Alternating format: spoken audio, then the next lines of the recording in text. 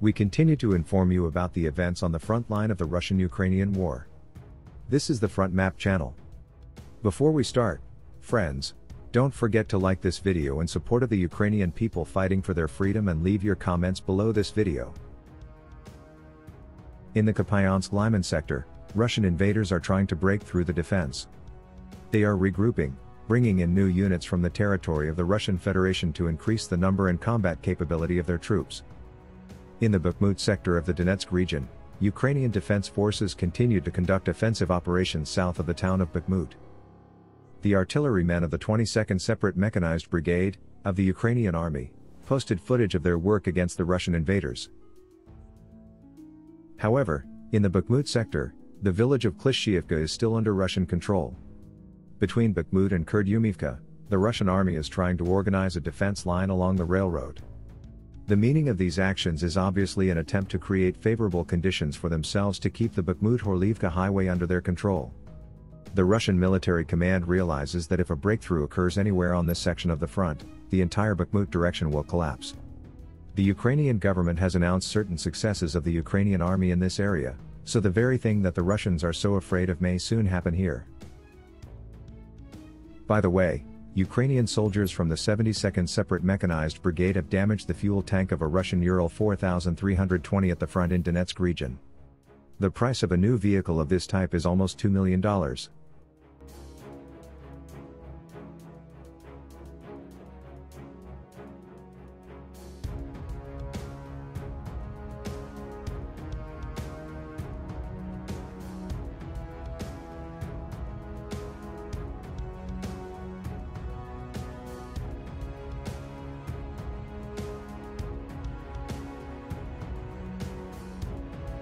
Ukraine's offensive on the southern front also continues. Russian military bloggers reported that the Russian army managed to recapture several positions near the village of Mikulsk, in the western part of Donetsk region. Ukrainian defenders released footage of Ukrainian troops from the 72nd Separate Mechanized Brigade, using cluster munitions to hit Russian artillery positions, near the village of Makiksk.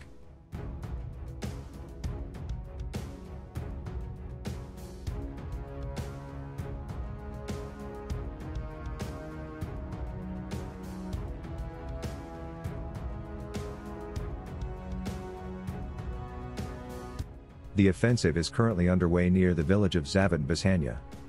Here, the Russian Army Command has almost completed the withdrawal of advanced units to the Prayat Zavitne Bazhannia line, and the Russians are now defending themselves.